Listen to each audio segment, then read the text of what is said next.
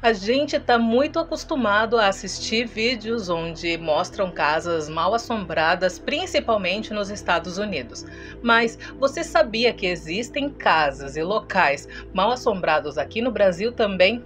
Se você não sabia, deixa aqui embaixo nos comentários. Mas antes da gente começar a falar dessas sete casas mal assombradas do Brasil, eu te convido a se inscrever, curtir esse vídeo também e compartilhar para mais pessoas ficarem sabendo desses fenômenos.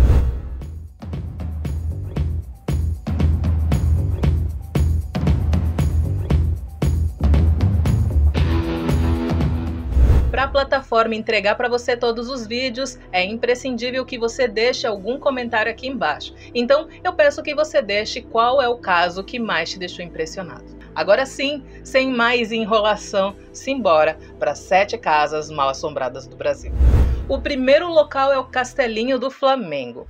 Nesse local tem uma história que aconteceu lá muito ruim. Essa história aconteceu no final do século XIX, quando o local foi construído. Lá morava uma menina órfã que era cuidada pelo advogado da família da residência. Só que este advogado, esse cuidar é um cuidado relativo, porque ele torturava e mantinha essa menina presa na torre da residência. Cansada de todo esse sofrimento, a coitada da menina cometeu suicídio. Dizem que até os dias de hoje é possível ouvir risadas de crianças e fenômenos estranhos, além de serem vistos muitos vultos naquele local. O castelinho fica num quarteirão atrás da Praia do Flamengo, no Rio de Janeiro. E aí, você teria coragem de visitar esse lugar? O segundo local assombrado do Brasil, a gente colocou o nome aqui da Emparedada da Rua Nova. No local aconteceu uma das lendas urbanas mais assustadoras da cidade do Recife. Num casarão da Rua Nova em Recife, uma mulher foi emparedada viva e o pior, a pedido do próprio pai dela. O pai dela era um comerciante rico e ela foi cimentada na parede da casa depois do pai descobrir que ela engravidou do amante da mãe dela. Pensa nessa situação. Depois de cometer o crime, ele se mudou para Portugal, mas depois de um tempo, ele voltou para o Brasil e voltou a morar lá na casa onde ele tinha emparedado a própria filha. Muitas pessoas que passam ali pelo, pela fachada da casa dizem ouvir sons de gritos abafados, além de sentir uma sensação estranha e sentir passos ali por aquele local. Tem também quem diga que já viu o espírito da mulher pairando ali naquela casa. A casa fica localizada na ilha de Santo Antônio, que é considerado o coração do Recife. Se você tiver coragem de visitar, olha, o endereço é a Rua Nova, número 200, Santo Antônio, Recife, Pernambuco. E depois não esquece de voltar aqui e me contar qual foi a sua impressão. A Fazenda de Carandaí. Durante o período da escravidão, um fazendeiro que morava na fazenda de Carandaí, ele gostava de maltratar e judiar dos escravos dele. Dizem que ele era muito sádico. Também contam as lendas de que ele açoitou uma dessas escravas, assim por nada, e ela acabou rogando uma praga nele, dizendo que a fazenda iria acabar. Até os dias de hoje existem relatos de que o espírito dessa mulher ficou preso na fazenda e por isso lá se escutam muitos ruídos e acontecem muitos fenômenos estranhos. Também é possível ouvir gritos, pedidos de ajuda e até mesmo chicote estalando. Há também quem diga de que esses barulhos, esses fenômenos sobrenaturais, são provindos dos escravos que foram enterrados ali na região depois de serem muito torturados.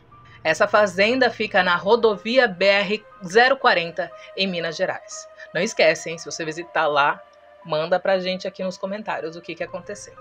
O Teatro Amazonas pessoas flutuando, tábuas rangendo, vultos e correntes de ar muito frias. Esses são alguns dos fenômenos que acontecem nesse teatro. Esses eventos foram presenciados por funcionários do teatro. Além de tudo isso, os vigias e cuidadores do local já afirmaram ouvir vozes e risadas vindo de dentro dos camarins do teatro. Eu não conseguia passar uma noite aí, com certeza. Além disso, eles viram também objetos sumindo de um lugar e aparecendo em outros, sem nenhuma explicação coerente. Moradores da região também afirmam que existem locais secretos dentro do museu que eram frequentados apenas pela elite da cidade, o que aumenta ainda mais o mistério que ronda o Teatro do Amazonas. Se você quiser conhecer o Teatro do Amazonas, ele fica no centro de Manaus e a melhor maneira de chegar lá é através da linha de ônibus. A rua é a Largo São Sebastião, sem número no centro de Manaus. O mercado modelo. Tudo parece normal durante os dias corridos dentro do mercado brasileiro. Mas quando os fregueses vão embora, os trabalhadores do mercado modelo dizem ouvir muitos pedidos de socorro que vêm do subsolo do mercado. Diz a lenda que antigamente tinham escravos que eram trancados, torturados e mortos ali. Além das vozes, algumas pessoas afirmaram escutar ali o som de chicotes estalando e de correntes sendo arrastadas. O mercado modelo se encontra na região central da Cidade Baixa. E o endereço é a Praça Visconde Cairu Sem Número, no Comércio, Salvador, Bahia. A Casa das Sete Mortes. É um belo casarão da época colonial que parece totalmente inofensivo, mas por dentro diz que ele carrega uma energia sobrenatural por conta dos fenômenos que aconteceram lá dentro. Foi lá que, em 1755, o padre Manuel e três dos seus funcionários foram mortos a facadas. Anos depois, ali nesse local, uma família inteira teria sido envenenada pela escrava deles. Até os dias de hoje, moradores do local afirmam que é possível ouvir sussurros e passos vindo daquela casa. Janelas e portas abrem sozinhas, além de vários fenômenos de aparições. A casa fica perto da região do Pelourinho e a algumas quadras da Avenida França. O endereço certinho é Rua do Passo 24, Pelourinho, Salvador, Bahia. E aí, teria coragem de dar uma chegada lá? Fazenda Capão Bonito. Na metade da década de 1930, uma mulher se suicidou na fazenda de Capão Bonito. Essa fazenda fica no Mato Grosso do Sul. Desde então, fazendeiros próximos do local afirmam que alguns fenômenos estranhos acontecem ali.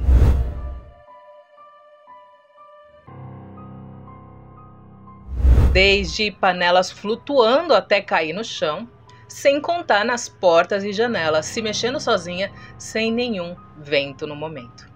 Moradores também dizem que escutam barulhos de choros e gemidos e dizem que até os dias de hoje a casa é mal assombrada pela mulher. Essa casa é uma propriedade privada que fica localizada num desvio da estrada MS 455, que leva em direção a Campo Grande, na estrada de Cidrolândia, Mato Grosso do Sul.